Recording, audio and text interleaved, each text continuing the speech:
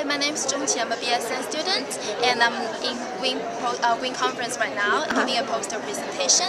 And this is the, our topic is the common variation in IL-6 promoter gene is associated with physical activity level. Uh-huh. And why we are interested in IL-6?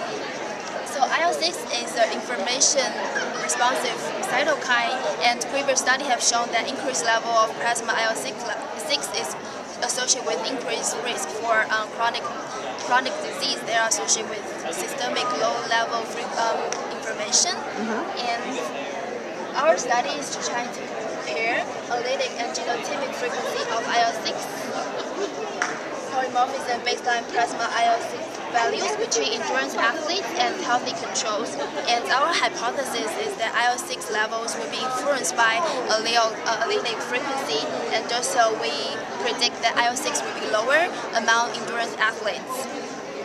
So um, we recruited 62 serious endurance athletes and 90 healthy controls. So we measure the BMI, we collect blood samples to measure um, DNA, and we also measure IL-6 baseline baseline IL-6 levels.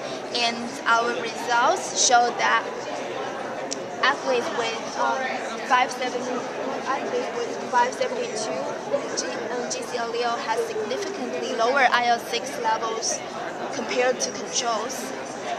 And so um, what we conclude from this study is higher level of physical activity actually is associated with reduced level of peripheral inflammatory response. So the conclusion of our study is that um, the study suggests high level of physical activity are associated with reduced level of peripheral, inflammatory response. And our study also suggests that an exercise-induced reduction in pro-inflammatory burden may explain in part of the relationship between um, regular physical activity and prevention of chronic, chronic disorders associated with systemic low-level inflammation.